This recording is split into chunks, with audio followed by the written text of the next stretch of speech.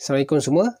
Hari ni aku nak tunjukkan macam mana cara aku gunting rambut anak aku pakai gunting. Okey, sebelum tu aku nak review dulu gunting yang aku beli dekat Shopee baru ni. Murah aja.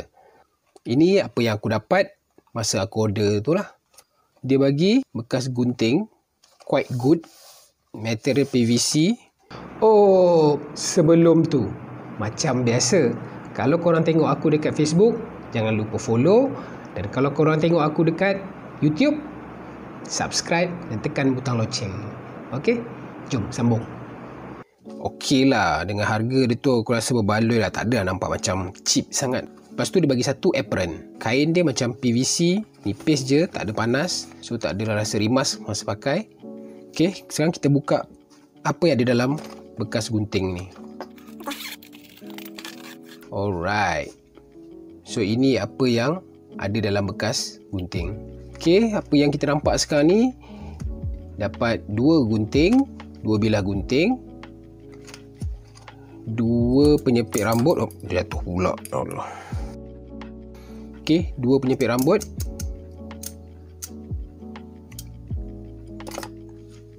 Lepas tu satu sikat dan satu kain. Macam kain lap lah. Tak apa, kejap lagi kita tengok. Sekarang kita tengok gunting dulu. Right. So gunting ni dia bagi So kita letak tepi dulu lah. Okay sekarang ni gunting ni Tak sini lah. Nah sini lah. Macam best je. Okay Sekarang ni dia bagi gunting Dia letak dalam plastik ni Dia ada plastik dia. Kita tengok zoom sikit Okay, kalau korang tengok aku punya zoom ni memang kadang-kadang out of focus sikit. Sorry lah eh, sebab aku pakai handphone biasa je. Okay, kadang-kadang zoom dia out sikit so understand un, un, understandable lah. Overall quality aku rasa masa aku pegang masa aku buka satisfying. Jom. Ah, ha. so puas hati lah. Dia punya quality besi dia okay, dia punya colour dia material dia not bad. Overall first impression okay lah. Tapi aku belum try lagi. Dia punya tahap ketajaman dia nanti baru aku nak try. Ok so ini gunting. Ok letak tepi. Ok yang kedua kita tengok gunting layer. So gunting layer ni pun sama juga. Kualiti sama. Kalau kau rasa ah, dia punya kalau korang boleh dengar ya aku bagi dengar dekat sikit eh Hu. Hu memang rasa tajam aku rasa. Aku tak try lagi lah. So kualiti sama, berat dia pun sedap puas hati. Kau pegang pun selesa, kau letak sini boleh. Kau tengok eh sama juga macam uh, gunting. Dia punya design dia. Dia punya pattern dia. Dia zoom sikit. Ada tempat rest tangan jari, rest jari. Ni untuk rest jari. Ini pun dia ada tempat rest jari ni. Sangat selesa kalau kau pegang pakai macam ni. Pegang ini dua jari ni untuk letak kat sini. So ini berjari. So kedudukan dia macam tu. Ok ok sangat selesa. Selesa. Ok so sama juga dengan yang gunting layer ni pun. Sama juga. Dia punya bunyi ketajaman tu memang aku takut lah. Ini kalau kena jari Oh. Ini pun kalau buat pergi sunat ni cepat je tak sakit ni. Soft sekali gunting. Okey. Alright, apa lagi? Okey, kita tengok ada dua penyepit macam biasalah, penyepit rambut lah. Kalau kau nak buat macam uh, faded ke ataupun sebenarnya dulu aku pernah gunting rambut orang ah.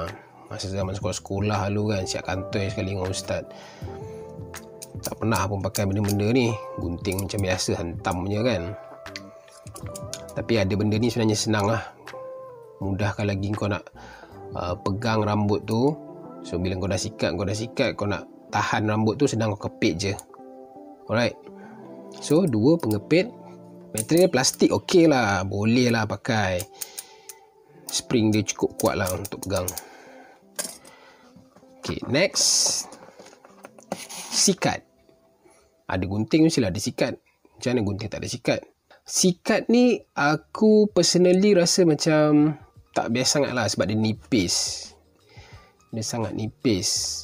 Dan dia agak tajam sikit dekat sini kalau kalau rasa kenapa aku suka bawa benda ni ke tepi ya sebab mungkin ada lighting kat belah sini kan belah sini tak nampak sikit lah tak apalah aku rasa pun macam tajam sikit kalau aku pegang untuk nak sikat naik turun. Naik turun naik turun ni pun rasa macam sakit sikit lah tangan aku. Tapi biasalah kan? Murah punya. Alright. Overall sikat so far so good. Ok mula-mula kita pakaikan bedak. Pakai bedak dulu. Lepas tu bagi handphone step pertama basahkan dulu rambut dia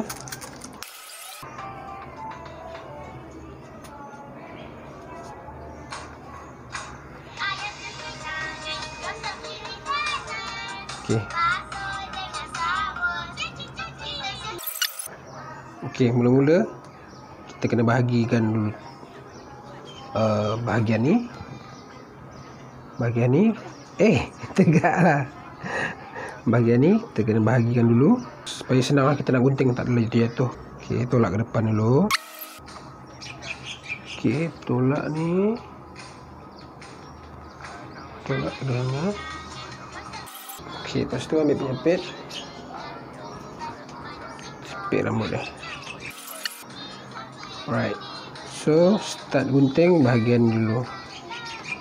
Okey, sekarang ni kita buat marking kat sini. Level dia, kita start pada belakang macam ni. Kita bawa pergi depan macam ni. Okey, marking tu sebenarnya untuk guideline kita untuk setakat mana kita nak nipiskan rambut tu. So tak adalah kalau tak ada marking tu kita akan main bantai je nanti uh, belah sini tinggi, belah sana rendah, belah kiri lain, belah kanan lain. Jadi tujuan dia adalah untuk bagi guideline, panggil marking eh. Supaya kita boleh tahu kat mana kita nak berhenti untuk kita buat fade out nanti. Alright. Bismillahirrahmanirrahim.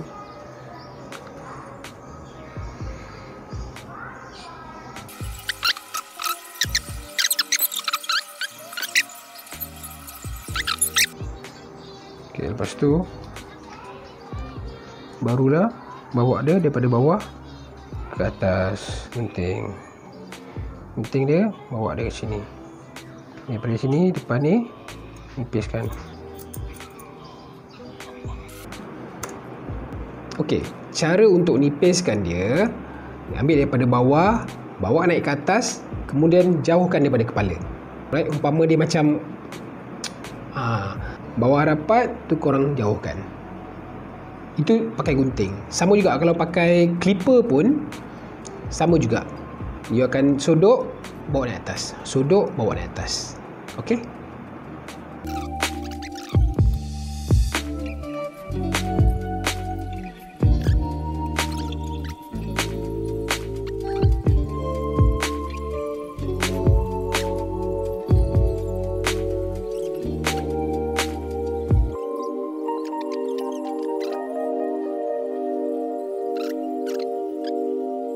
Okey, trim. Diam, diam. Trim tepi-tepi ni. Okey, anak-anak rambut yang dekat bawah-bawah tu boleh nipiskan lah. Maknanya rapat lah. Sikat tu dengan kulit kepala tu, uh, korang boleh rapatkan. Tapi janganlah sampai ke atas. Maknanya sama juga teknik dia. Di bawah, naik, jauhkan. Supaya benda tu tak nampak macam bertangga. Ha, dia nampak smooth dia. Licin je dia naik. Okey. Okey, dapat ni.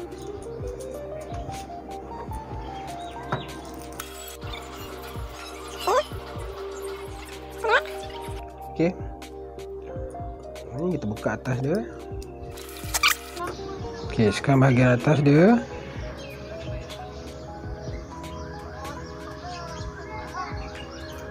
Okey, kita ambil bisection. section.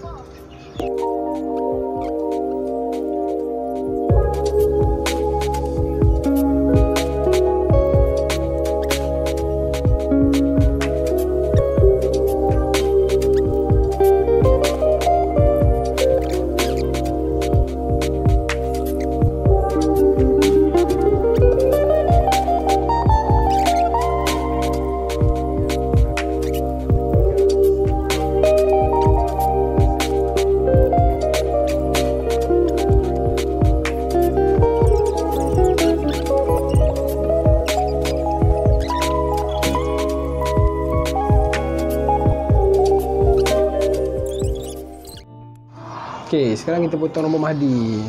Lambai sikit Mahdi. Lambai kamera. Lambai kamera. Hai. Mahdi. Saya potong rambut.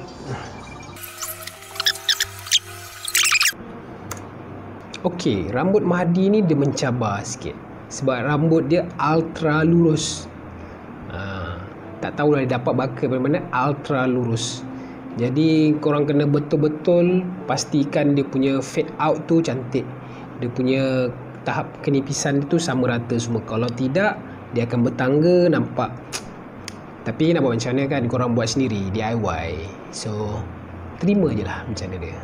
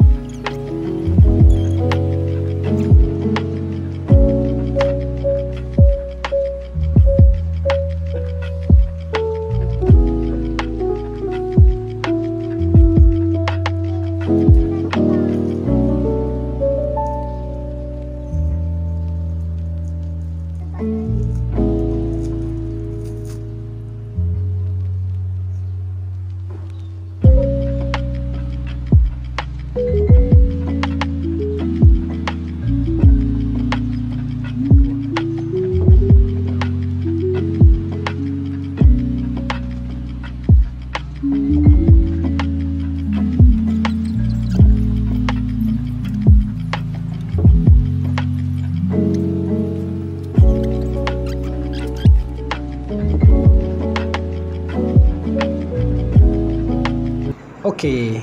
Ini adalah hasilnya. Hmm, boleh lah. Hmm, bertangga juga.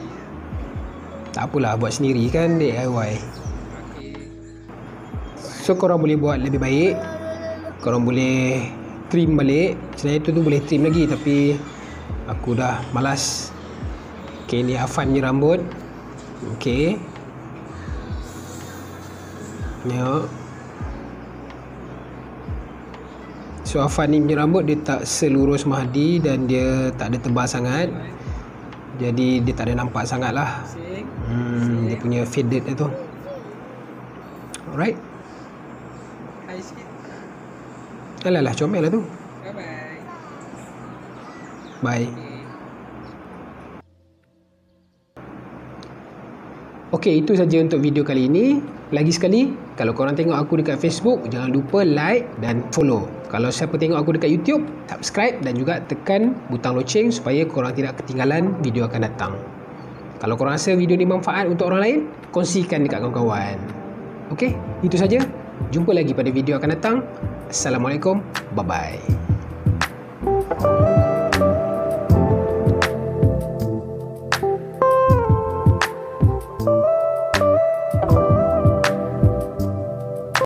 Juga keadaan sama juga sama juga uh, perkongsian saya hari ini.